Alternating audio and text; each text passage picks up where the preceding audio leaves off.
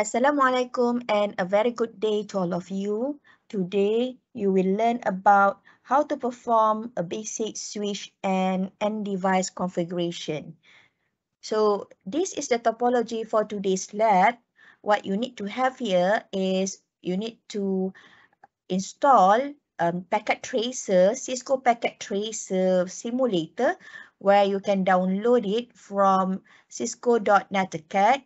You have to log in and go to the resources and there there is a link for you to download the Cisco packet tracer.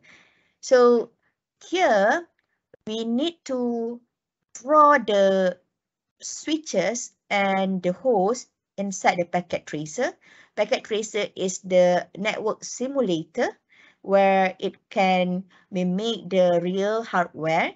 So this is the addressing table so basically what we need to do is first we need to know how to draw the topology inside the Cisco packet tracer.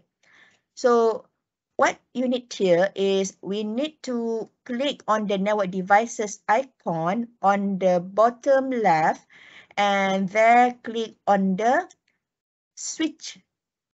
So what you have to click on is the Cisco 290 switch. So click on this switch and click on the panel board here. So rename by clicking on the text and rename it as S1. So click on here and you can rename it as S1.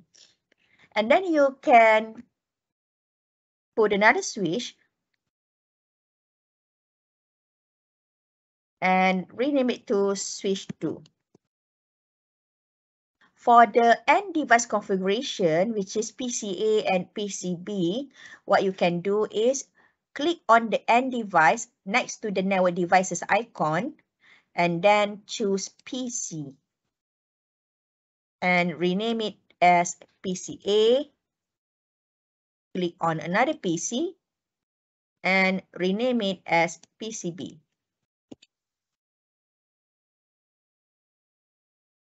The next thing that we have to do is we have to connect all of the end devices and the switches.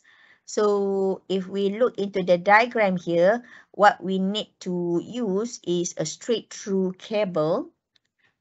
So click on the icon, the lightning icon, where it is actually a connection icon and click on the straight through cable here. So between switch 1 and switch 2, so click on the port fast ethernet 01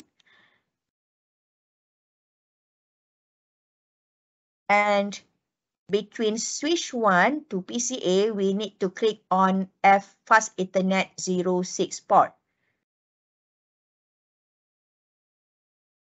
We still use the same cable. And between switch 2, we use fast ethernet 018.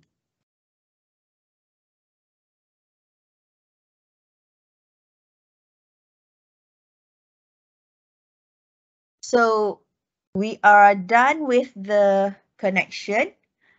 So if you see here, there is an amber LED signifying that the uh, the uh, switches or the connection is not converged yet. So we need to wait a while until everything turns into green.